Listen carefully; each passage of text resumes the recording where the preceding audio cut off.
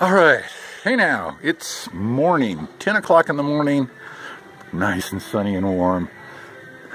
Left the ice box. This is the coldest place I've ever stayed in. It never gets any sun. This side of the building gets sun and warm. The other side never sees the sun. I happen to be on the other side, in the corner room on the other side. So at the end of the day, when the sun goes down over there, at least I get sun for the afternoon. But that's not why I'm doing this video. I'm going to walk down to Jarkot today and back.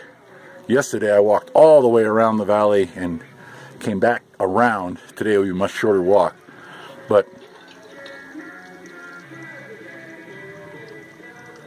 so under the notion of it's as loud over here as it is over there. See up there? That's up, I don't know, that's that's a quarter mile up. And you hear Pink Floyd coming from the Buddha. That's our overseeing Buddha here in town. And uh, right now they're playing Money by Pink Floyd. And the whole village can hear it.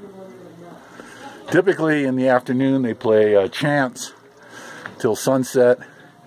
And in the morning they play some nice soft music. I can hear it when I'm waking up in the sunset in the dark. Or sunrise. Um, just now as I stepped out.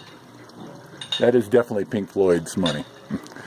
anyway, I'm in for a big day today. Bye-bye.